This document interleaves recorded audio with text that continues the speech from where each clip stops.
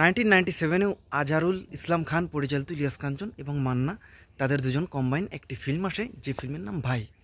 যদিও সিনেমাটার কিন্তু প্রি প্রোডাকশন এবং পোস্ট প্রোডাকশন এগুলো কিন্তু নাইনটিন নাইনটি সিক্সে হয়।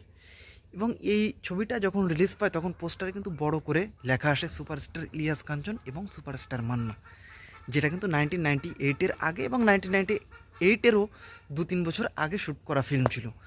অনেকে হয়তো বলে যে তখন ইলিয়াস কাঞ্চন রুবেলটা সুপারস্টার ছিল, তো মান্নাকে তারা সুপারস্টার মেনে নিতে নারাজ। কিন্তু পত্রপত্রিকাতে আপনি দেখবেন যে তারা কিন্তু একটা ব্যাপার যখন লেখে, তারা কিন্তু অনেক হিসাব নিকাশ করে লেখে। এবং চাইলে কিন্তু আপনি সুপারস্টার, মেগাস্টার এই ট্যাগগুলো লাগিয়ে কিন্তু কারণ আমার সঙ্গে কিন্তু ইউজ করতে পারেন না। এবং আমি অনেক ভিডিওতে বলেছি যে মিড নাইনটিস থেকে মান্নার প্রপার একটা সুপারস্টারডম শুরু হয়ে যায় এবং নাইনটিন নাইনটি ফাইভের পরে, নাইনটিন নাইনটি সিক্সে কিন্তু রীতিমতো ইলিয়াস কাঞ্চন বা রুবেলদের কাছাকাছি মান্না চলে আসে, এটা কিন্তু আমি অনেক ভিডিওতে আমি সবসময় বলি এবং অনেকে হয়তো এটা মেনে না। তো এটার ব্যাখ্যা এবং পত্রিকার সেটা দিয়ে এখন আমি ক্লিয়ার করতে যাচ্ছি। তো ভিডিওটি স্টার্ট করার আগে আপনাদের কাছে ছোট্ট একটা অনুরোধ, আপনারা যদি ফিল্ম স্পাই চ্যানেলটিতে নতুন হয়ে থাকেন, তাহলে অবশ্যই সাবস্ক্রাইব করবেন বেল আইকনে ক্লিক করবেন লাইক করবেন শেয়ার করবেন কমেন্টস করে জানিয়ে দেবেন আপনাদের মূল্যবান মতামতটি আমি অপেক্ষা করিলাম আপনাদের মূল্যবান কমেন্টের নাইনটিজ হচ্ছে আমাদের বেঙ্গলি ফিল্মের একটা স্বর্ণালী অধ্যায়। নাইনটিজে যেরকম আমরা সিনিয়র তারকাদের দাপট দেখেছি, ঠিক তেমনি কিন্তু জুনিয়ররা ইলিয়াস কাঞ্চন রুবেল, যারা সিনিয়র সুপারস্টার, তারাও রীতিমতো ফর্মে। এবং জুনিয়র আমি যাদের কথা এখানে মার্ক করছি, সালমান শাহ, ওমর সানি থেকে শুরু করে তখন যারা স্ট্রাগলার, অমিত হাসান বা আমিন খান, তারাও রেগুলার কাজ করছে। ঠিক তখন মান্নাকে আমরা একটা অন্যরকমভাবে দেখলাম। আপনি তাকে খুবই জুনিয়র হিরো বলতে পারছেন না, আবার ইলিয়াস কাঞ্চন বা মান্না তাদের লেভেলের স্টারডম ওরকমও আপনি নাইনটিন নাইনটি ফোর বা ফাইভে দাঁড়িয়ে তাকে ভাবতে পারছেন না, কিন্তু একের পর এক কিন্তু তিনি সুপার ডুপার হিট ফিল্ম কিন্তু তিনি ব্যাক টু ব্যাক কাজ করে যাচ্ছেন।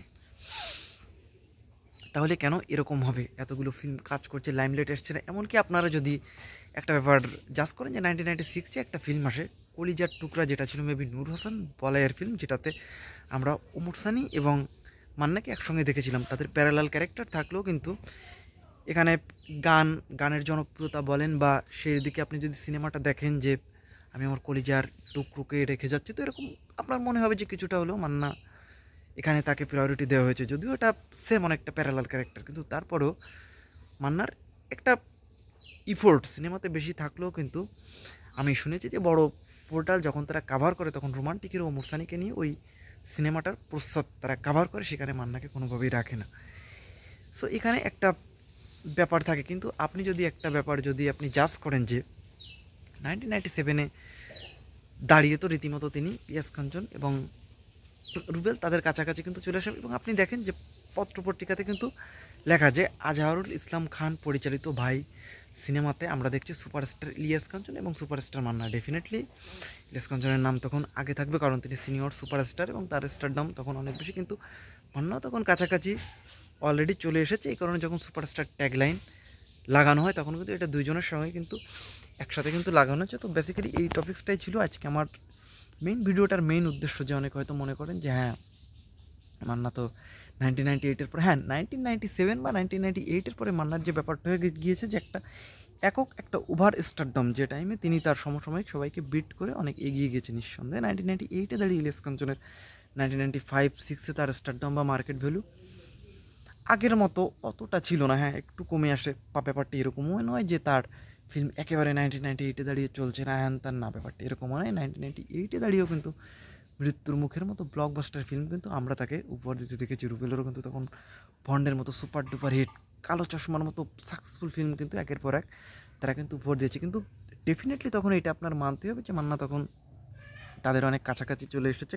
অনেক কাছাকাছি কি মান্না, রীতিমতো হ্যাঁ যেহেতু সিনিয়র তারকা, সেহেতু ইলিয়াস কাঞ্চনের নাম আগে থাকবে, এটা স্বাভাবিক, কিন্তু মান্না তখন ডেফিনেটলি সুপারস্টার এই কারণে। কিন্তু ভাই, সিনেমাটার যখন পোস্টার করা হয় নাইনটিন নাইনটি সেভেন এবং এটা তত বড় সাকসেসফুল ফিল্ম না হলেও কিন্তু এই সিনেমাতে আপনি দেখেন যে তাদের ইলিয়াস কাঞ্চনের সঙ্গেই মান্নাকে সুপারস্টার ট্যাগ দিয়ে পত্রিকাতে আসে। তো বেসিক্যালি এটা নিয়ে নিয়েছিল ভিডিওটি। তো ভিডিওটি ভালো লাগলে লাইক করবেন শেয়ার করবেন কমেন্টস করে জানিয়ে দেবেন আপনাদের মূল্যবান মতামতটি। আমি অপেক্ষা রইলাম আপনাদের মূল্যবান কমেন্টের